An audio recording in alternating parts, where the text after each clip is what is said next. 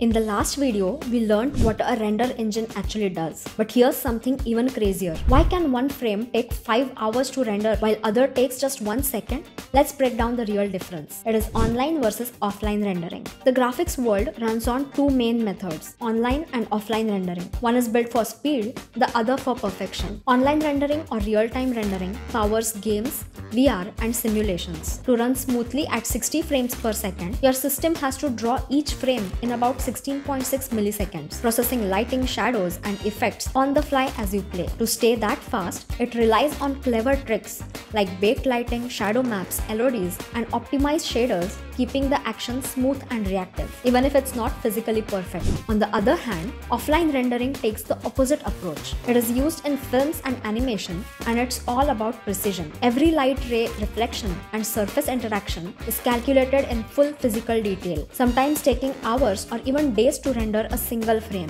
That's how studios like Pixar and DreamWorks craft the photoreal cinematic worlds we see on the screen.